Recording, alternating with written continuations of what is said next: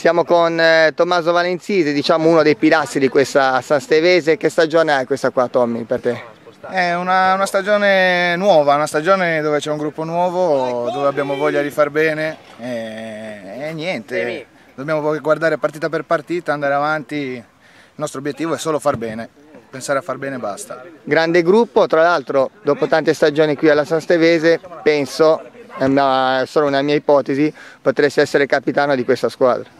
Non lo so, ma anche se fosse sarei solo che orgoglioso e contento di questo, perché per me è un onore.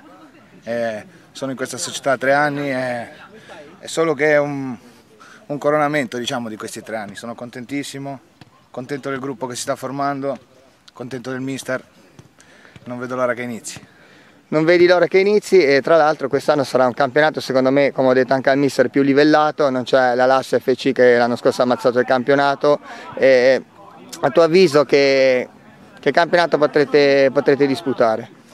Eh, guarda, siccome ne ho viste tante in questi anni, so che la testa è quella che fa tutto, quindi non c'entrano giocatori, non c'entra gruppo, bisogna solo stare a noi, sta a noi, partita per partita, divertirci e e vedrai che vedremo che secondo me faremo, faremo molto bene quest'anno, dobbiamo solo pensare a quello, non farci obiettivi di vincere, non vincere, ma partita per partita ci togliamo qualche soddisfazione secondo me. Grande Tommy, grazie. Ciao Dami. Ciao. Ciao.